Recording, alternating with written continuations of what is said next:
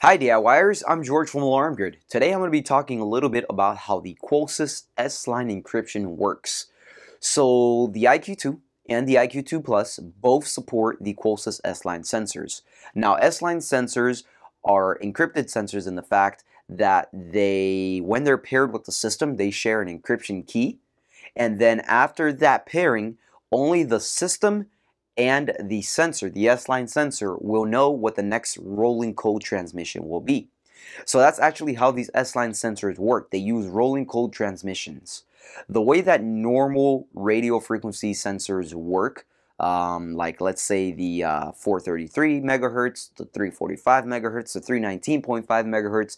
These are all DSC, Honeywell, 2GIG, Interlogix, uh, normal Qolsys. The way that these radio frequencies work is that they're constantly, whenever a, a sensor is faulted, whenever a sensor is tampered or restored, um, they send out the same radio frequency signal and if let's say a burglar is standing around with a with an RF sniffer, he can actually duplicate that RF frequency that's being sent out or that transmission that's being sent from the unencrypted sensor and then he can actually duplicate that and then when you guys leave the house they can go ahead and recopy and send out that signal again to start kind of spamming or spoofing the system. The way that rolling code works and defeats this is that only the panel and the sensor know what the next rolling code transmission mean. Now, what does rolling code mean? It means that the transmission is constantly changing. It's changing, um, it's not sending out the same signal every single time. So there's no way that a burglar that's standing around with an RF sniffer can duplicate the next signal because he doesn't know what it is. Only the system and the sensor will know what the next transmission is going to be. And the rolling code transmission is for any faults, any tampers, any restores. Um, and that's what S-Line does, and that's how it protects you against any of these burglars that are looking to spam or spoof your system. Now, the S-Line sensors only work with the IQ2 and the IQ2 Plus um, as long as you have the correct daughter board card in the IQ2 Plus.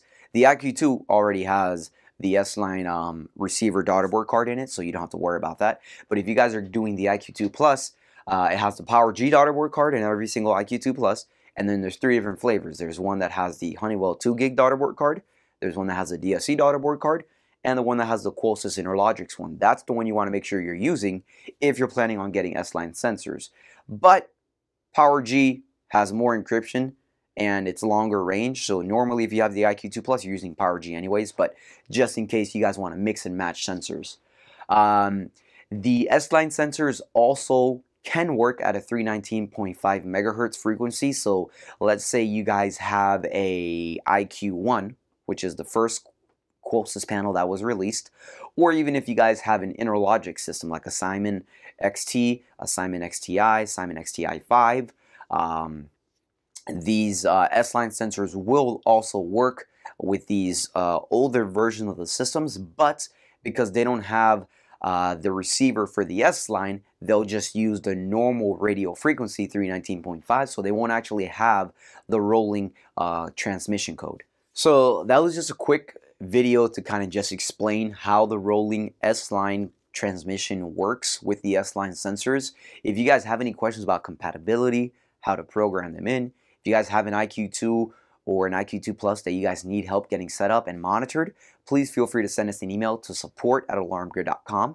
If you found if you found the video helpful, make sure you hit like underneath, subscribe to our YouTube channel, and hit the little bell icon so whenever we upload new content, you guys get notified. I'm George, and I'll see you guys next time.